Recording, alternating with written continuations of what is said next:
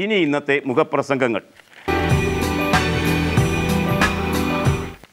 മന്ത്രി K C Joseph പത്രക്കാരെ പ്രതിക്കൂട്ടിൽ നിർത്തിക്കൊണ്ട് നടത്തിയ ഒരു പ്രസ്താവന. അവരുടെ സമ്മേളനത്തിൽ തന്നെ നടത്തിയ ഒരു പ്രസ്താവനയുണ്ട്. മാധ്യമ സ്വാതന്ത്ര്യം എവിടം വരെ പോകാം എന്നും അതേ സംബന്ധിച്ച് അദ്ദേഹത്തിന്റെ പരാതികൾ പല ഘട്ടങ്ങളായി. അദ്ദേഹം പറഞ്ഞിട്ടുള്ള പരാതികൾ അണിനിരത്തി അദ്ദേഹം നടത്തിയ പ്രസംഗത്തെ മുൻനിർത്തി. ഇന്ന് കെ എം റോയ് ഒരു ലേഖനം എഴുതിയിരിക്കുന്നു ആ ലേഖനം.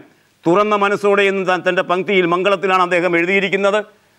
മന്ത്രി കെ സി ജോസഫിനെ പിന്തുണയ്ക്കുന്ന ഒരു ലേഖനമാണ് എന്നത് പറയാം വാസ്തവത്തിൽ അത് കാണുക. വാസ്തവത്തിൽ മാധ്യമ സ്വാതന്ത്ര്യം ഉറപ്പു നൽകുന്ന ഒരു വ്യവസ്ഥയും ഭരണഘടനയിൽ ഇല്ല എന്നതാണ് വസ്തുത.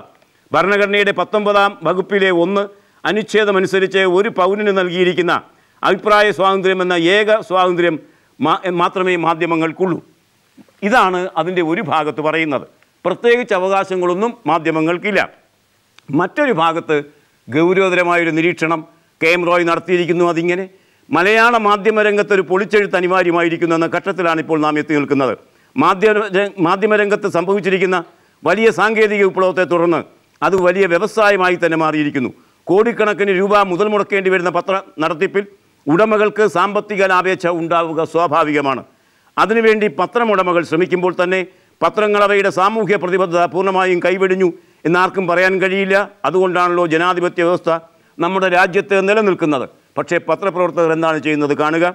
പക്ഷേ അതിനിടയിൽ രാഷ്ട്രീയ നേതാക്കളുടെയും അധികാരസ്ഥാനങ്ങളുടെയും ചട്ടുകങ്ങളായി മാറുന്ന കുറേ മാധ്യമപ്രവർത്തകർ മാധ്യമധർമ്മം അപ്പാടെ വ്യഭിചരിക്കുന്ന വികൃത രംഗങ്ങൾക്കും കേരളം ഇപ്പോൾ സാക്ഷ്യം വഹിച്ചുകൊണ്ടിരിക്കുകയാണ്. സാമ്പത്തികവും അല്ലാത്തതുമായ പ്രലോഭനങ്ങൾക്ക് പുതിയ മാധ്യമപ്രവർത്തകർ കീഴടങ്ങുന്നതാണ് മാധ്യമ ലോകത്തിന് ഏറ്റവും ഏറ്റവും വലിയ ശാപം. അതിന് അതിനെങ്ങനെയാണ് പരിഹാരം കാണാൻ കഴിയേണ്ടത് എന്ന് ആലോചിക്കണം എന്ന് കെ എം റോയ് പറയുമ്പോൾ അദ്ദേഹം ഒരു വാസ്തവം പറയുന്നു. ഇനി ഇന്നത്തെ കാർട്ടൂൺ. തെരഞ്ഞെടുപ്പുകൾ ആസന്നമായിരിക്കുന്നു ഈ വർഷം ഡിസംബറിൽ. അഞ്ച് സംസ്ഥാന തെരഞ്ഞെടുപ്പുകൾ കഴിയും. വരും വർഷം പാർലമെന്റും തെരഞ്ഞെടുപ്പും വരും. കോൺഗ്രസ് നേതാക്കൾ എന്താണ് ഇപ്പോൾ ചെയ്യുന്നത്? ഈ കാർട്ടൂൺ കാണുക. ഇത് ഏറാൻ മൂളികളായ കോൺഗ്രസ് നേതാക്കളും സോണിയ ചിത്രവുമുള്ള ആലോചനാ മുറി നമ്മുടെ തന്ത്രം പൂർത്തീകരിക്കും മുമ്പ് അത് രാഹുലിനെ എപ്രകാരം ഒരു നിഷേധിയാക്കാമെന്ന് കൂടി ചിന്തിക്കണമെന്ന് പറയുന്ന നേതൃവിധേയത്വം കേശവ് കാർട്ടൂണാക്കി ഹിന്ദുവിൽ നമുക്ക് തന്നിരിക്കുന്നു. ഇനി ഇന്നത്തെ ചിത്രം. ഇന്ന് ലോക പാർപ്പിട ദിനമാണ്.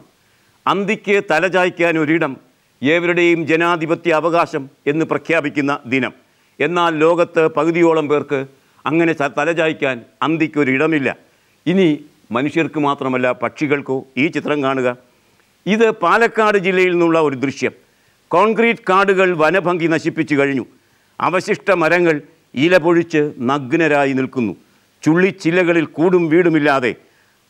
അനാഥരായ പക്ഷികളുടെ ഈ ചിത്രം ധനേഷ് അശോകൻ പകർത്തി മലയാള മനോരമ ഇന്ന് ഒന്നാം പേജിൽ ഉചിത ഭംഗിയോടെ തന്നിരിക്കുന്നു. ഈ ചിത്രത്തോട് ഇന്നത്തെ വർത്തമാനം സമാപിക്കുകയാണ്. Nice day goodbye